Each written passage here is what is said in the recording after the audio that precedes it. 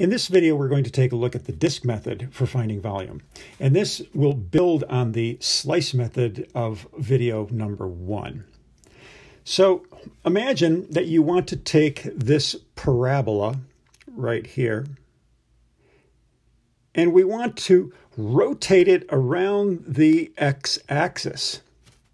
So that means every point on the parabola is going to get rotated around the x-axis. Well, if we jump right to the very end picture here, we can kind of get an idea right here.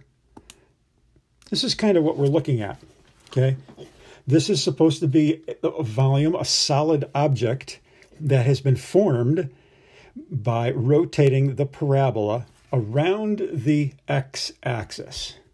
And we create a uh, what is called a solid of revolution. It's a solid, and it was formed by revolving a function, an object, around a particular line or an axis. So, how does this involve calculus? How does this involve integration? So, if we go back to the original parabola, and let's say, okay, let's take let's take a look at a rectangle underneath that um, parabola. Now, we're not really interested in finding the uh, area of that rectangle because what we're going to do is we're going to take this rectangle here and we are going to revolve it around the x-axis. So kind of use your imagination. If we took this rectangle and it stays attached to the x-axis, that's the axis of rotation, and we just rotate it around 360 degrees, we're going to have something that looks like this, which is a disk. It's not too clear on the videos, but on the notes uh, that you should be posted and more, this should be a little bit more clear. So what we have is we have a disk. Well, we can find the volume of that disk. The volume of that disk is simply the cross-sectional area times the width of the disk. In other words, it's a slice. Right? So we find the cross-sectional area and we multiply it by the, the thickness. So it's just like what we did in the last video. The only thing is here is the cross-sectional area is always going to be a circle. And we know the area of a circle is pi r squared. All right. So the question is, what is r? Okay. r is basically the function value. So when you think about it, what you're doing is you're this this rectangle touches the parabola and that's uh, that's going to be the radius. This distance from here to here is the radius. That's the radius. So the function value will give you the distance from the x-axis to the parabola.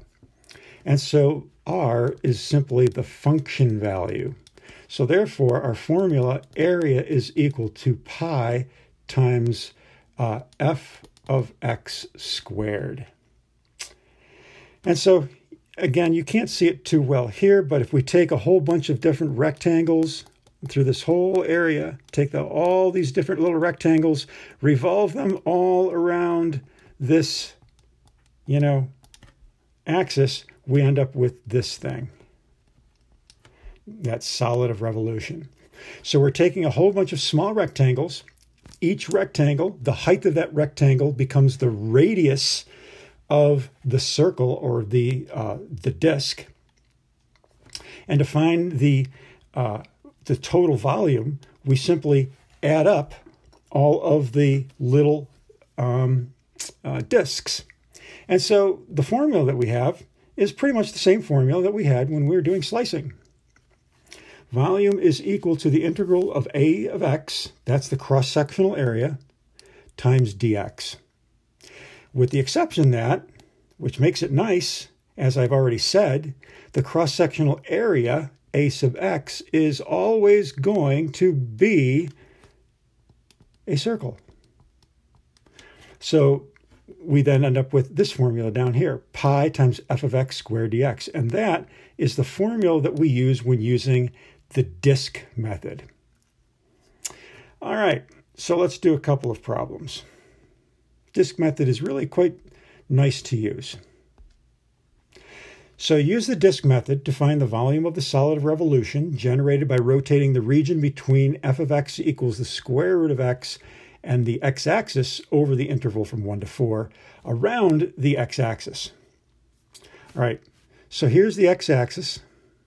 Here is my function, square root of x.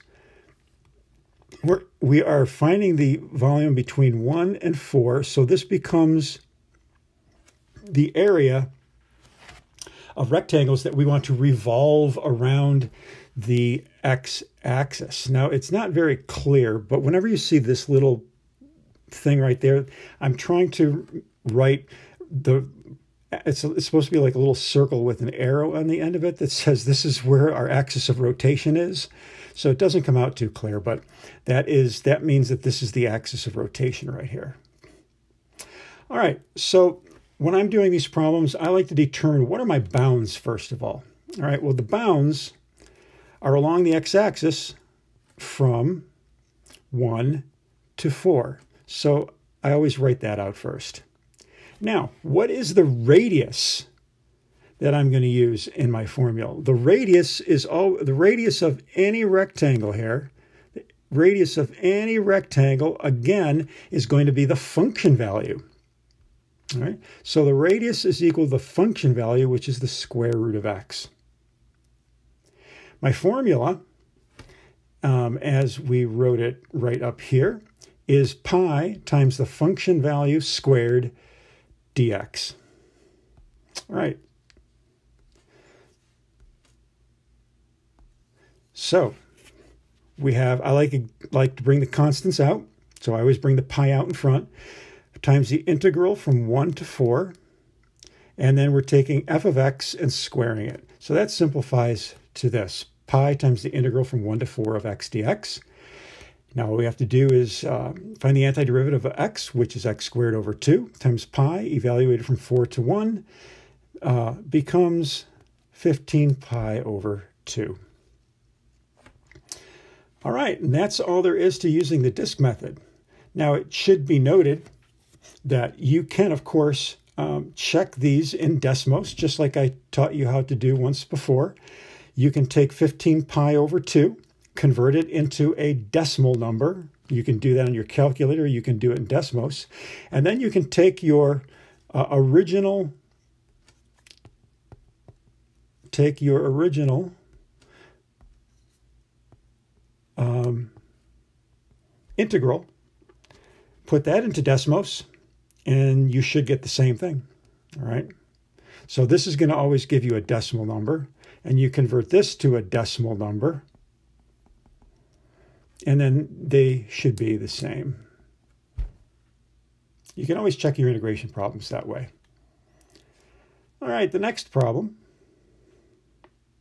Find the volume of the solid obtained by rotating the region bounded by y equals 2 minus 1 half x, y equals 0, x equals 0, and x equals 1 about the x-axis. I didn't mention it, but of course you can always uh, graph these in Desmos just to get a good idea as to what you're looking at. I went over that in the very first video, so you can continue doing that for any of these problems. Just because I'm not doing it in Desmos now doesn't mean that you shouldn't do it if you feel comfortable. So graph it in Desmos and then create a little bit of a sketch. So again, here's this little thing here is telling me what my axis of rotation is. It's the x-axis. And so here is my function. And so we are going between x equals 0 and x equals 1. So we're creating a whole bunch of little rectangles in here and rotating those x those re rectangles around the x-axis. So the first thing I like to do is find my bounds. My bounds on the x-axis are from 0 to 1. What is the radius? Well, the radius, again, is the function value, which is 2 minus 1 half x.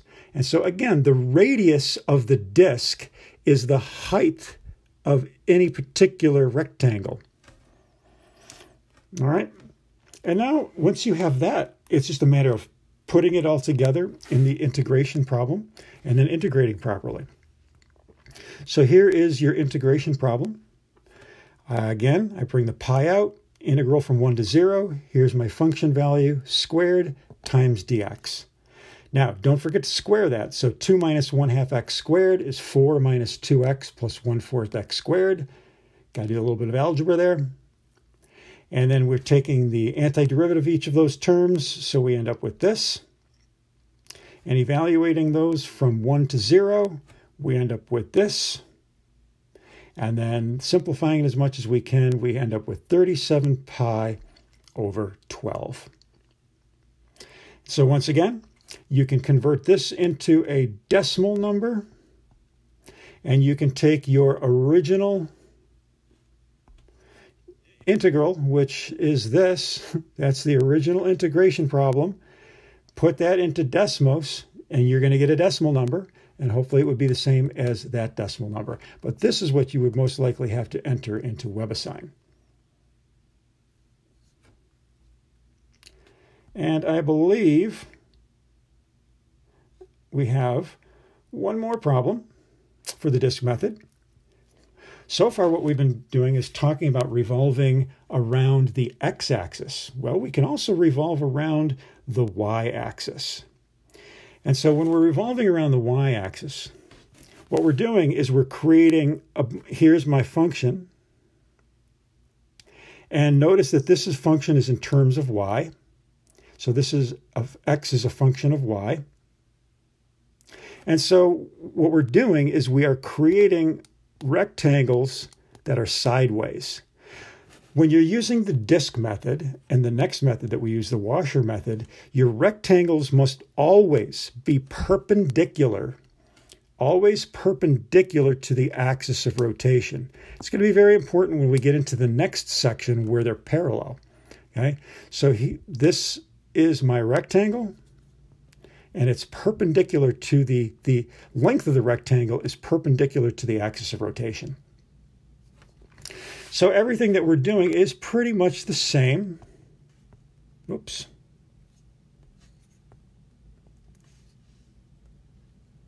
Let's go back to red. So we need to figure out what are the bounds on the y-axis now? Well, we're going from y equals 0 to whatever this point is. And of course, that's just the um, y uh.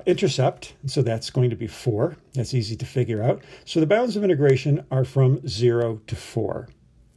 The radius, again, is the height of this rectangle. The height of the rectangle is the function. And so r is equal to g of y, which is the square root of 4 minus y. Everything else then is exactly the same, except we're working in terms of y's. So volume is equal to the integral from 4 to 0 of pi times the function value squared times dy. Don't forget to square, but since it's a square root, square root of 4 minus y squared just becomes 4 minus y. That's nice. And so we're integrating that And so the antiderivative 4 is 4y. The antiderivative minus y is minus 1 half y squared. Evaluated from 4 to 0. Plug those in there and we get a volume of 8 pi. All right, so that's how we rotate or revolve around the y-axis. All right, so you always have to be aware of whether you're rotating it around the x-axis or you're rotating it around the y-axis. If you're rotating around the y-axis, your function is going to be in terms of y, okay? Or you must write the function in terms of y. If you're rotating about the x-axis, the function is going to be a function of x. All right, that's it for this video.